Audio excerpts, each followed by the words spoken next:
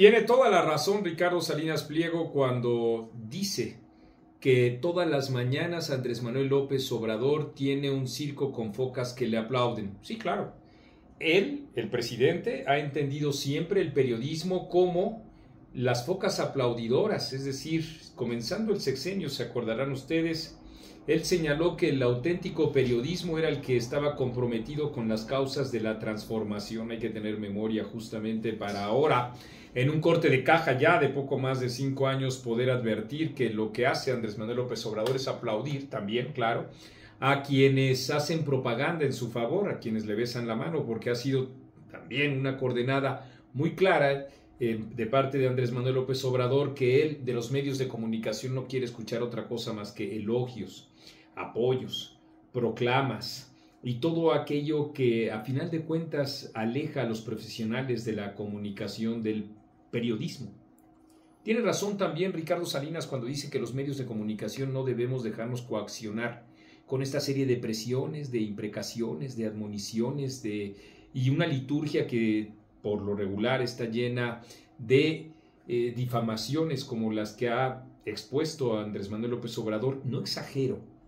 En todos estos años, en más de 500 ocasiones para dirigirse a los medios de comunicación y a los periodistas que le resultan incómodos. Vamos, los que sí son periodistas y que en vez de aplaudir lo que hacen es ofrecer datos, circunstancias, retratar necesidades sociales, impactos ambientales, situaciones económicas adversas, la pandemia, el desastre en la salud, la educación, la economía y el empleo en el que ha asumido el populismo autoritario y como vemos inepto de Andrés Manuel López Obrador al país. Y esos medios de comunicación son diversos por fortuna. Está el Universal, está Animal Político, está Reforma,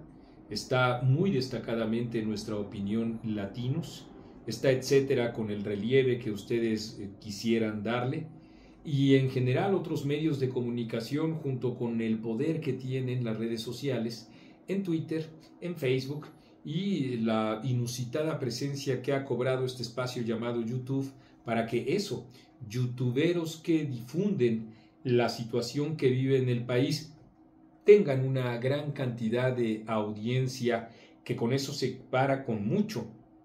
a los medios de comunicación que se quedan callados, eh, dóciles a los designios de la economía o de las presiones y de las amenazas de Andrés Manuel López Obrador.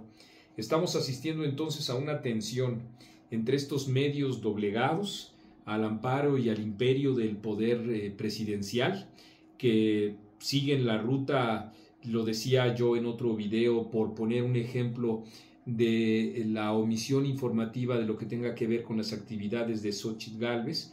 y por otro lado también en una tensión relacionada con medios de comunicación que en efecto no se dejan coaccionar y que en medio del proceso electoral que ya comenzó,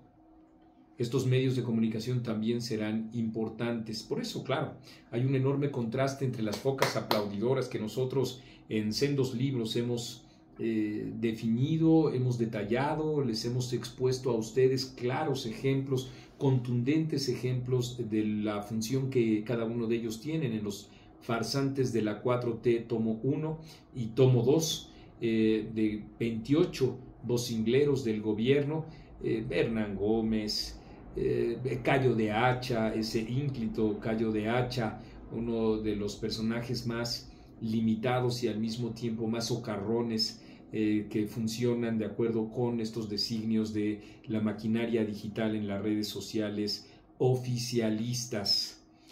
Eh, ¿Qué decir, por supuesto, de Sabina Berman o de Genaro Villamil, de Rafael Barajas, del Monero Hernández? de Julio Hernández y una larga, muy larga lista que incorpora también a Andrea Chávez, a Abraham Mendieta, a esta persona que también es sumamente ridícula y grotesca, Lord Molécula, me refiero, y tantos más que ustedes pueden encontrar en estos libros que han hecho, por supuesto que este año sean dos de los libros más vendidos eh, del país de acuerdo con Amazon y con Mercado Libre, y en los últimos dos meses los libros más leídos del país en esos circuitos, por supuesto, adquiridos en esos circuitos. Es importante que tengamos en cuenta esta serie de tensiones entre la propaganda que quiere alentar Andrés Manuel López Obrador como el jefe máximo eh, de las próximas campañas electorales que arroparán a Morena su maquinaria electoral para tratar de lograr un maximato como el que representa su corcholata preferida Claudia Sheinbaum. Tengo, tenemos en etcétera la confianza de todas maneras de que ha de privar la convicción por la libertad eh, de parte de los medios de comunicación y junto con ello, desde luego, la firmeza de muchos de ustedes, usuarios de las redes sociales, por acompañar al periodismo libre, al periodismo que no es propaganda, que inquiere, que pregunta, que cuestiona, que resulta incómodo y que ahora en este sexenio también ha sido perseguido por Andrés Manuel López Obrador.